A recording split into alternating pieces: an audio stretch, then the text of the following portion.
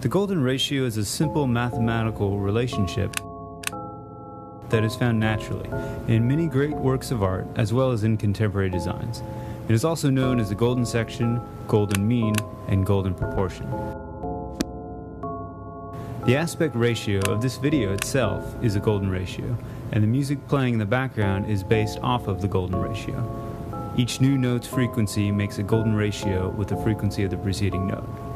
In mathematical terms, it is a ratio of 0.618 to 1 and is related to the Fibonacci sequence of numbers, where each number is the sum of the preceding two numbers 1, 1, 2, 3, 5, 8, 13, 21, 34, and so on. Any two of these numbers approximates the two numbers in a golden ratio, although it is much more accurate as the numbers get larger.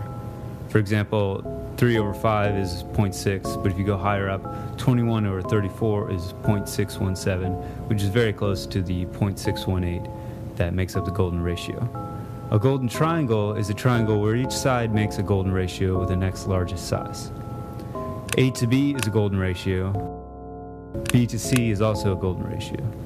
Using these triangles, you can make a pentagram and totally rock out. The golden ratio can also be found in nature, the classic example being the nautilus shell.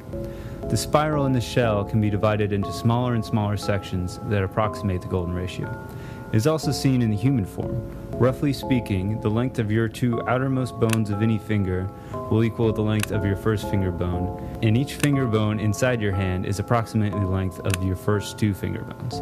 There are also many measurements in the face that are approximately equal to the golden ratio. It can also be found in many famous works of art and architecture, such as the Mona Lisa, here, and here, and the Parthenon, here as well as the pyramids in Egypt, here. Our book, Universal Principles of Design, which also approximates a golden ratio when you open it, warns us not to value a golden section more highly than other aspects of design.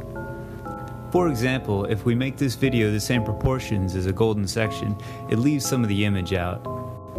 Studies have shown that many people prefer a golden ratio to other rectangle proportions, but it's not going to make your user experience whereas having properly allocated space may make a difference to users.